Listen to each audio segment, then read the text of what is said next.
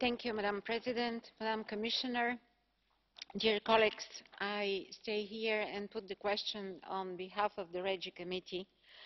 because of uh, the real interest between the members of REGI Committee on the implementation of these uh, extraordinary special measures which had been taken uh, because of the proposal of the European Commission adopted on 17 July 2015, a legislative proposal to amend the Common Provision Regulation in respect of specific measures for further financial assistance to Greece. This was a very strong reaction after the Greece uh, crisis and we at that time believed, together with the Commission, that we can support Greece in the efforts of the country to uh, go out from the crisis and uh, succeed in the efforts to uh, complete and implement the successful projects. The goal of this proposal was twofold to provide additional pre financing for 2014 2020 cohesion policy operational programmes under the investment for growth and jobs goal and for programmes financed from the European Maritime and Fisheries Fund in Greece. And secondly, to allow for the ceiling for the cumulative total of pre financing and interim payments to be 100% and to increase the co financing rate for 2007 2013 operational programmes for the convergence and regional competitiveness and employment objectives in Greece to 100 In the European Parliament, the decision was taken to deal with this revision on CPR under the simplified procedure. It was the decision of the REGI Committee. So we adopted this proposal as quickly as possible in order to allow a greater stimulus effect to make sure that the Greek authorities could make full use of European Union funding available for the cohesion policy under the previous financial period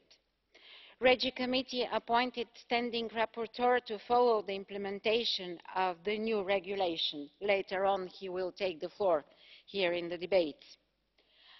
but on several occasions including during a joint hearing organised by the committee on regional development and the committee on budgetary control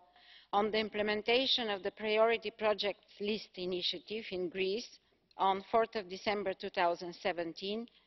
members of the parliament expressed their regrets about the almost absence of communication between the commission and the parliament on the implementation and performance of these cpr amendments. the lack of reporting information made available by the commission and the greek authorities on the result of the special measures adopted for greece should be emphasised.